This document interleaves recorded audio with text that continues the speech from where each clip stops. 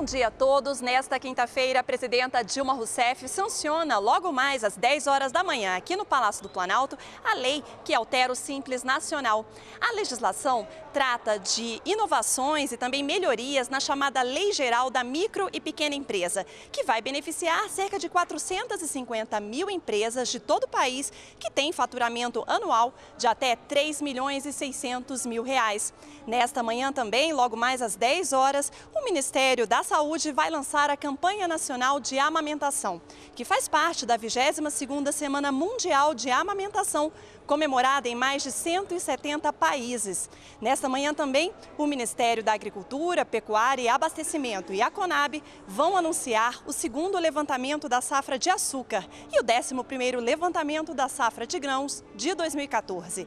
Daniela Almeida, direto do Planalto.